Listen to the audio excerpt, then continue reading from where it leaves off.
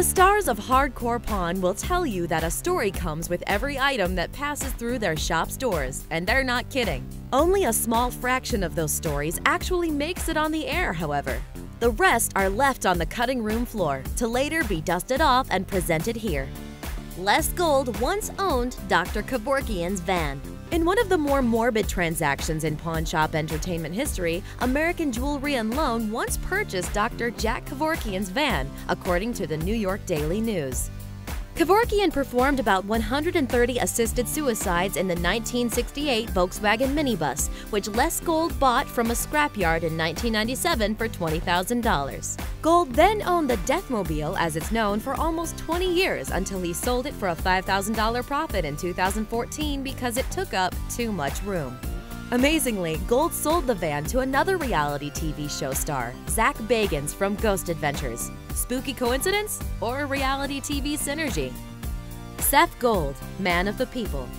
In December 2014, Michigan state senators wanted to introduce a bill that allowed pawn shops to increase the interest they charged on pawned items by 20% per month. While this sounds like something shop owners would support wholeheartedly, Seth Gold of American Jewelry and Loan actually opposed the measure. Our business is predicated on people getting their stuff back, redeeming their merchandise. In fact, on a national average, 80 to 90% of all customers that get loans with us get their merchandise back. You stretch that interest rate, make it higher, well, the default rate's going to explode. Fortunately for Gold's customers, it seems the bill never actually became a law. They're patriots.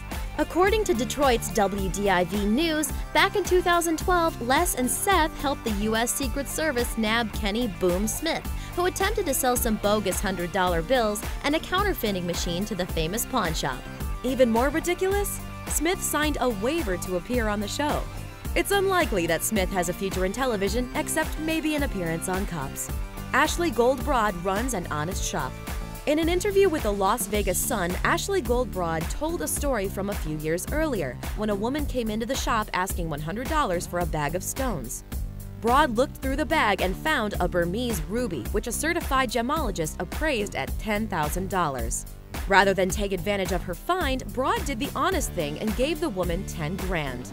While some would see that as an amazingly kind gesture, Broad insists it's just good business. They have celebrity clientele, so American Jewelry and Loan may not have hundreds of celebs stepping through their doors every day, but the one that can be verified is impressive.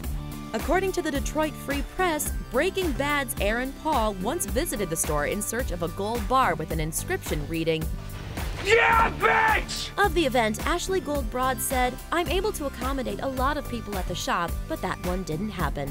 Sorry, Jesse. One episode has a tragic postscript. American Jewelry and Loan may not be the safest place to visit, even by pawnshop standards. Detroit resident David Kapuzinski, who made a memorable appearance on the show in 2013, was killed two years later in a confrontation with police. According to reports, Kapuzinski failed to obey verbal orders from officers called to his apartment during a domestic disturbance, which resulted in repeated tasering. Kapuzinski's girlfriend claims it was a misunderstanding and told reporters that the thick-headed bravado he displayed on the show was just part of a setup for the series. Why are they always in the same clothes? Ever wonder why the main cast of the show is often seen wearing the same outfit on air? Well, according to an April 2016 AMA chat with Les and Seth Gold on Reddit, it has less to do with being clueless to today's trends and more to do with continuity. Les revealed, quote, I have 12 of the white sweaters at least. We wear the same clothing day to day for continuity purposes on the show, end quote. The same apparently applies to Seth, who he says only has one outfit too. Unscripted. Over the years, many reality TV shows have been accused of or exposed as being fake. What about Hardcore Pawn? If Seth is to be believed, the show is 100% real, saying during the AMA, quote, We're pawnbrokers, not actors. The truth is, these are real customers. Also, the stuff you see us buy on the show, you can see that it's real too, because we have things you've seen on the show for sale on our showroom floor. End quote. Thanks for watching! Subscribe to our YouTube channel to see more videos like the one you just saw. And leave us a comment to let us know which hardcore pawn fact surprised you the most.